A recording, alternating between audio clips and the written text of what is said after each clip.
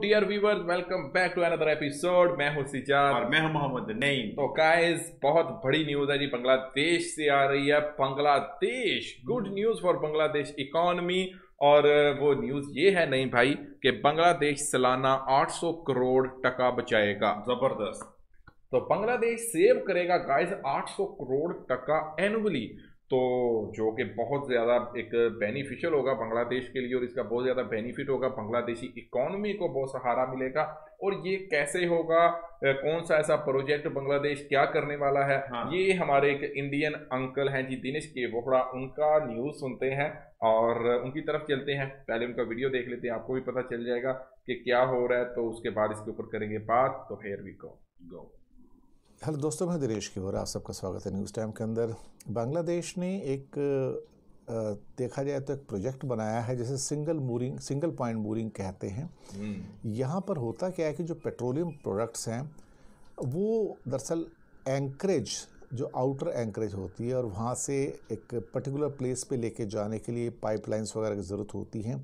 तो वो जब पूरे हो जाएँगे तो ये बहुत जल्दी बांग्लादेश को 800 करोड़ टका की सेविंग होगी पर एनम तो भाई जी सुन लें।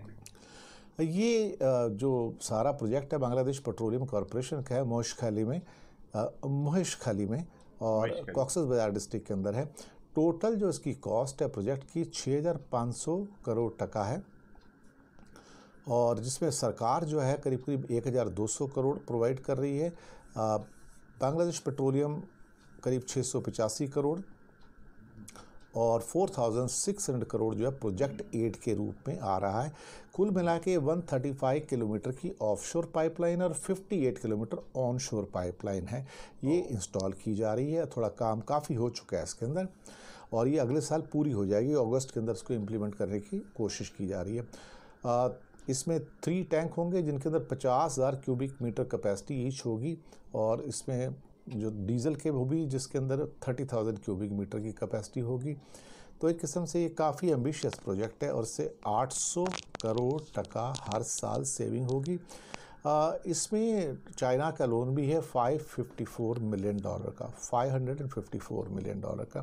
तो अच्छा प्रोजेक्ट है और इससे आपको अच्छा। फ़ायदा होगा approximately 800 crore taka per year good okay तो गाइज़ आपने सुन लिया कि क्या है इस प्रोजेक्ट में नहीं भाई ये पाइपलाइन जो है हाँ। ये वाकई एक अम्बिशियस वाकई ही एम्बिशियस प्रोजेक्ट है और बहुत बड़ा छः हज़ार तकरीबन साढ़े छः हज़ार करोड़ इसके ऊपर लगेगा हाँ, और आप ये देखो कि अगर ये प्रोजेक्ट जो है एनुअली 800 करोड़ टका बचाता है हाँ। तो ये जो इसकी लागत है ये तो 10 साल में दस से भी पहले बल्कि दस साल से पहले हो जाएगी पाँच छः साल हाँ छः सात साल में तकरीबन हाँ। कवर हो जाएगी और ये लागत जो है बांग्लादेश इसको बचा लेगा उसके बाद प्रोजेक्ट पूरे का पूरा बच जाएगा भाई। पूरे का पूरा बिल्कुल ऐसे ही। और बांग्लादेश हर रोज कोई मतलब ऐसा कदम उठा रहा है जिससे जो है उनकी जो है इकोनॉमी ऊपर से ऊपर बूमिंग कर रही है। अरे भाई जो भी प्रोजेक्ट देखो आ, मतलब आ, फ्यूचर में बांग्लादेश को बहुत फ़ायदा देगा। ये प्रोजेक्ट।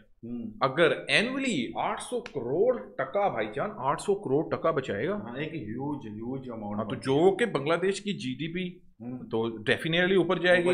लोगों का जो लिविंग स्टैंडर्ड है वो और बेहतर होगा। जो पर कैपिटा इनकम है वो डेफिनेटली और बेहतर होगी।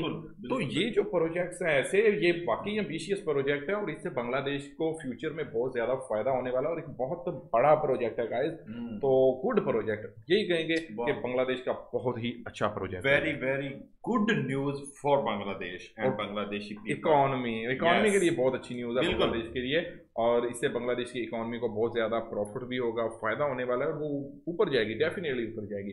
गाइस आपने की मोनी करे, बांग्लादेशी मानुष की मोनी करे, कमेंट कीजिए और बताइए। हमें मिलते हैं अगले वीडियो में। रखिए बहुत सारा ख्याल। गुड बाय अल्लाह हाफिज। अल्लाह हाफिज।